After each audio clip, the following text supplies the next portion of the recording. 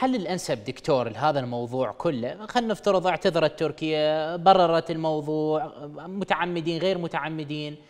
الحل الانسب لهذا الموضوع كله؟ حكومة الكاظمي لازم شو تسوي؟ تبرم اتفاقية وياهم للاتراك وتحدد شروطها بما انه إحنا عندنا مشكلة. اتفاقية من زمن صدام حسين والنظام السابق والبعض يقول أصلا ماكو اتفاقية واتفاقية شفوية وخروقات وخرقت كثيرا. الأفضل الآن تتوجه الحكومة لاتفاقية بعد هذه الأزمة اللي صارت الآن واللي إحنا نواجهها؟ الحل أخي العزيز لهذه المشكلة. ولكل المشاكل إنه ينبني عراق جديد. عراق قادر على حماية حدوده حماية أبنائه حماية نفسه. عراق قادر أن يقدم لأولادنا تربية وتعليم وأمن وثقافة وصحة.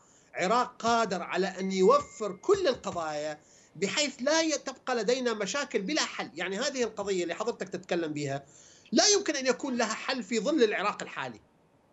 منظمة قوية عسكريا تقع في منطقة داخل العراق خارج حدود سيطرة العراق. هذا هذا لا يحدث في أي مكان طبيعي. يعني أنت تعرف وأنا أعرف. نعم. أنه إحنا لدينا خط أحمر اسمه كردستان. لا نستطيع أن ندخل في منطقة كردستان. ووضع هذا الخط الأحمر هو جزء من هذا الإرباك. يعني طبعا أنا لا أدعو ابدا إلى أنه نجتاح كردستان مثلا الجيش العراقي يفعل مثل ما كان أيام النظام السابق وأيام الأنظمة السابقة. لا ليس هذا الحل.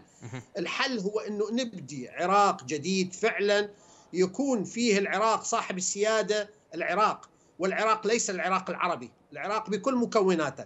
صاحب السيادة من فيش خابور إلى الزبير